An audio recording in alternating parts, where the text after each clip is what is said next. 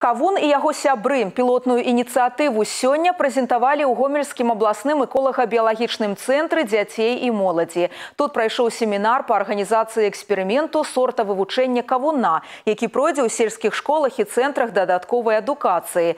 Нашы корэспандэнты даведаліся аб умовах удзелу ў эксперыменце, а таксама чым айчынныя кавуны лепшыя за імпартныя. Беларускія кавуны больш салодкія, чым замежныя. Так падчас семінара высказаліся эксперты. Яшчэ адна перавага айчынных даспяваюць яны ў натуральных умовах. Імпартныя часцей за ўсё збіраюць зялёнымі і да патрэбнай спеласці яны даходзяць па дарозе ў Беларусь. Немалаважна і тое, што нашы кавуны псуюцца прыкладна за месяц, што сведчыць аб іх натуральнасці, а прывазныя могуць захоўваць свае смакавыя якасці ў чатыры разы даўжэй. Гэта не вельмі добра. Сорванный недозрелый арбуз, он не дозреет. Это уже установлено.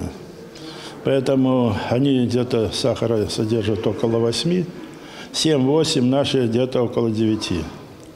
Вот и наши более экологически чистые арбузы, потому что наши хранятся где-то около месяца.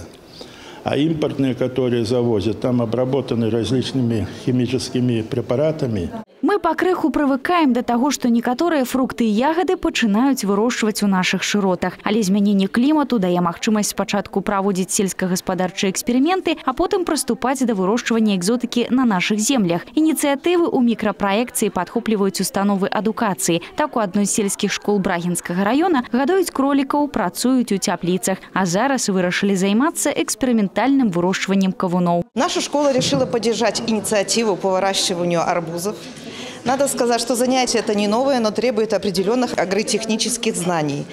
И как, тоже, если не школа, если не учителя, если э, не дети займутся этим вопросом. Поэтому мы активно пытаемся этим заняться. Падчас сустрэчы ўдзельнікі даведаліся аб перспектывах вырошчвання кавуна на поўдні Беларусі. Прадстаўнікі каманд удзельніц шасці раёнаў гомельскай вобласці атрымалі ўсё неабходнае для запуску кавуновага эксперыменту. На працягу паўгода, пакуль будзе доўжыцца ініцыятыва, да яе змогуць далучыцца ўсе, хто пажадае паспрабаваць свае сілы ў конкурсе фотарэпартажаў, артыкулаў, відэаролікаў і малюнкаў на тэму, як мы вырасцілі кавун. Завяршэннем ініцыятывы стане свята, дзень кавуна і яго сяброў, якое адбудзецца ў жніўні ў Лоеве. Марына Джалая, Леся Рудзянкова, Ігар Марышчанка, тэлерадыёкампанія «Гомель».